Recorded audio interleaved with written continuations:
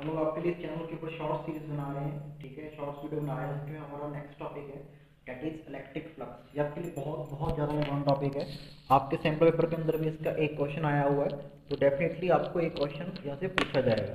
तो हमने यहाँ पे आपके लिए फ्लक्स के रिलेटेड सारे पॉइंट लिख दिए, एक बार आप नज़र मारिए। सबसे पहले आपके लिए फ्लक्स का डेफिनेशन इलेक्ट्रिक फ़ील्ड लाइंस कितनी पास कर रही है किसी सर्फेस उसको उनको बोलते हैं सर्फेस का फ्लक्स अगला पॉइंट है आपका फ्लक्स के तीन फॉर्मूलाज होते हैं। पहला क्यू बाई एप्सिलॉन नॉट किसी सरफेस के अंदर कितना चार्ज इनक्लोज है वो क्यू होगा? एप्सिलॉन नॉट उस पर्टिकुलर सरफेस के अंदर जो मीडियम है, उसकी परमिटिविटी तो फ्लक्स दो फैक्टर पे डिपेंड करेगा आपका, ध्यान से सुनिएगा। पहला आपका चार्ज कितना इनक्लोज है? दूसरा उस मीडियम या उस सरफेस के अंदर मीडियम कौन सा है? सिर्फ़ दो फैक्टर पे डिपेंड कर रहा है। तीसरा जो फ्लक्स है, यहाँ पे मैंने लिखा भी आपके लिए नोट दिया हुआ है कि डायमेंशन पे डिपेंड नहीं करता है। सरफेस कितना बड़ा है, कितना छोटा doesn't depends upon this thing only charge and medium ये पॉइंट आप दिमाग में रखेंगे, उसके बाद formula E dot D S अगर आप इंटीग्रेशन करना चाहते हैं, और आपका formula E A cos theta यहाँ पे थीटा होगा आपका इलेक्ट्रिक फ़ील्ड और उस सरफेस के एरिया वेक्टर के बीच का एंगल ठीक है? आप चाहे एक बार इसका स्क्रीनशॉट ले सकते हैं। ठीक है? फॉर योर कन्वीनियंस ओके अब देखिए आपका मैक्सिमम फ्लक्स का कंडीशन क्या होता है कि जब वो थीटा ज़ीरो होता है थीटा ज़ीरो मतलब फ़ील्ड लाइंस आपकी पैरल रहेंगी एरिया वेक्टर के। फ्लक्स आपका ज़ीरो कब होगा, जब मिनिमम कब होगा, जब एंगल 90 होगा मतलब फ़ील्ड लाइंस और एरिया वेक्टर आपस में परपेंडिकुलर रहेंगे।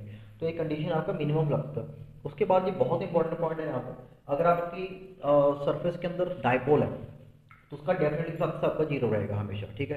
क्योंकि नेट चार्ज कितना हो जाएगा, अंदर ज़ीरो हो जाएगा। अगला पॉइंट आपका, कि अगर मान लीजिए आपको सरफेस के अंदर दो चार्ज दिए हुए हैं, दो चार्ज बाहर है तो फ्लक्स को कंट्रीब्यूशन सिर्फ़ अंदर वाले चार्ज देंगे।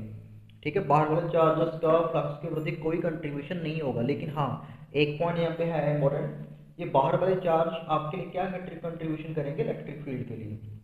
तो ये आपको इलेक्ट्रिक फ़ील्ड का कंट्रीब्यूशन देंगे नॉट फॉर फ्लक्स ठीक है?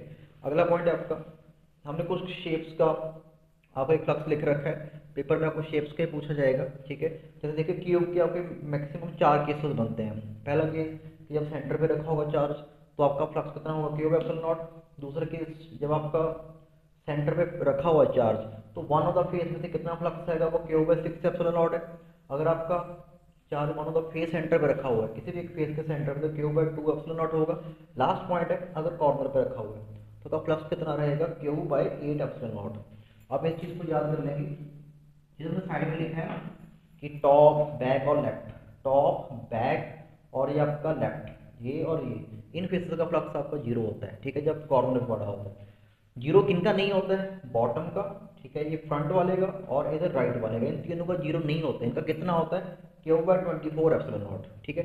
ये पॉइंट आप दिमाग में रखेंगे। ये आपसे डायरेक्टली पूछा जा सकता है तो इसको आप अच्छे से दिमाग में रखेंगे अगला पॉइंट है आपका सिलेंडर का। ये आपसे पेपर में आया हुआ है, अभी सैंपल पेपर के अंदर। तो अगर ये हम सिलेंडर ले लें तो इसके अंदर चार एरियाज़ होंगे।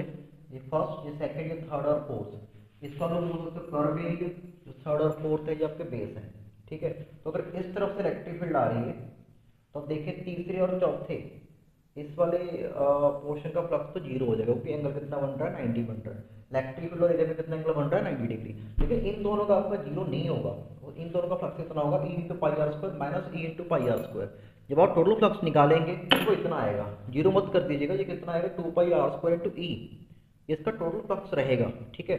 उसके बाद अगर आपने इसके अंदर चार्ज इनक्लोज फाइंड करना है तो बड़ी इजी फाइंड कर सकते हो two pi r square into epsilon naught ये वाला फॉर्मूला लगाया हमने कि क्यू कितना आ जाएगा? फाइव इंटू एप्सिलॉन नॉट ठीक है? उसके बाद आपका हेमिस्फीयर का केस पूछ सकता है।